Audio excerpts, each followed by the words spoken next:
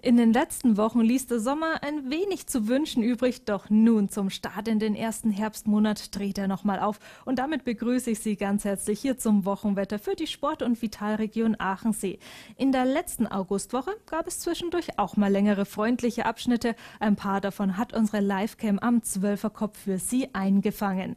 Der Dienstag wird dagegen etwas wolkiger. Ganz vereinzelt kann es da sogar mal leichten Regen oder etwas Niesel geben und zudem ist es doch recht frisch. Die Temperaturen steigen nur auf 10 bis 13 Grad. In Wiesing gibt es immerhin maximal 17 Grad. Da bleiben wir doch lieber mal im Tal und gehen in die Aachenseer Museumswelt. Das ist quasi ein Dorf im Dorf und hier können Sie sich auf Zeitreise durch das Aachental begeben. Dabei erfahren Sie alles über Brauchtum, Arbeits- und Lebensweise der Aachentaler Bevölkerung. Am Mittwoch geht es zunächst noch mit vielen Wolken weiter. Im Tagesverlauf setzt sich allerdings immer besser die Sonne durch und es wird auch spürbar wärmer, ja richtig spätsommerlich mit bis zu 22 Grad. Auch am Donnerstag und Freitag scheint häufig die Sonne.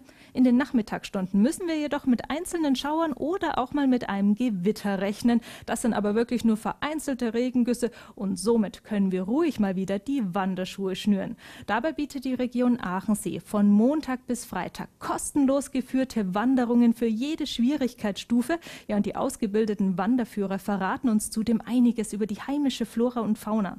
Am besten eignet sich dabei der Donnerstag für eine Wandertour. Es wird nämlich recht warm, sogar in 2000 Meter Steigen die Temperaturen bis auf 14 Grad. Und es scheint da auch lange Zeit die Sonne. Es empfiehlt sich allerdings früh zu starten, denn im Laufe des Nachmittags steigt dann das Risiko für Schauer und sogar für einzelne Gewitter. Am Wochenende werden die Schauer und Gewitter allmählich weniger. Es bleibt dann vor allem am Sonntag und am Montag oft trocken bei einem netten Mix aus Sonne und Wolken und es bleibt auch spätsommerlich warm mit 21 bis 23 Grad. In den Bergen gibt es rund 13 Grad. Somit gibt es am Wochenende auch perfekte Wetterbedingungen für den 15. Internationalen Aachenseelauf, Österreichs schönster Panoramalauf.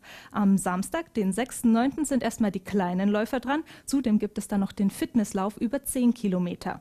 Am Sonntag folgen schließlich der Hauptlauf über 23,2 Kilometer und der spannende Staffellauf. Und damit wünsche ich Ihnen jetzt sportliche und schöne Spätsommertage am Aachensee.